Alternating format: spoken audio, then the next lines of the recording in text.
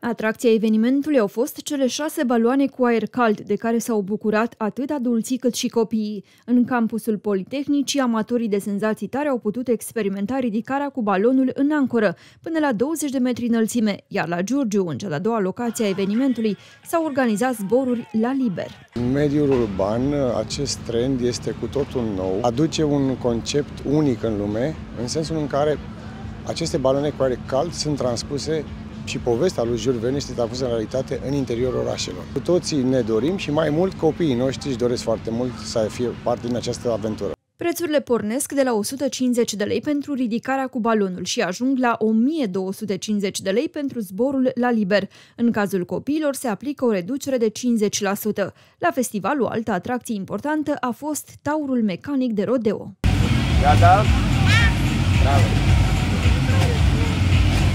Cei mai încântați au fost copiii, dar nici unii dintre părinți nu au putut sta deoparte. Ne simțim foarte bine și sper să fie lună de lună un eveniment ca acesta. Mă duc să le iau și pe cel mic, să vedem dacă vrea. Pe băiețel? Pe băiețel, da.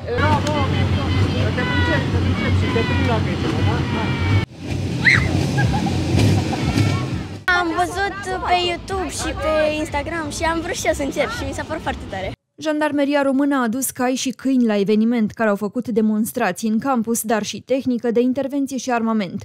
Și polițiștii au adus echipamentele pe care îi le folosesc. Aveți tira AK-47? Nu am AK-47. AK-47 nu este armament. Este un lansator de grenade.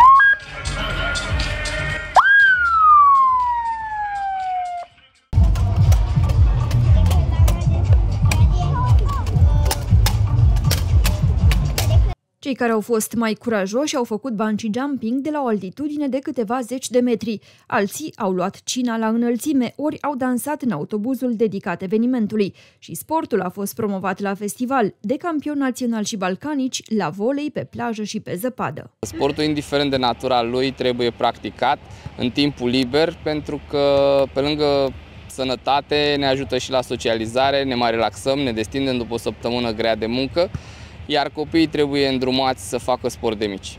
De asemenea, a fost organizat în parteneriat cu ASPA și un târg de adopții de câini și pisici, pentru ca micuții blănoși să-și găsească o familie adoptivă, iar unii dintre ei au avut noroc. Dacă e băiețel, putem să o adoptăm? Putem să adoptăm, sigur. Dacă îți place, da, o putem adopta.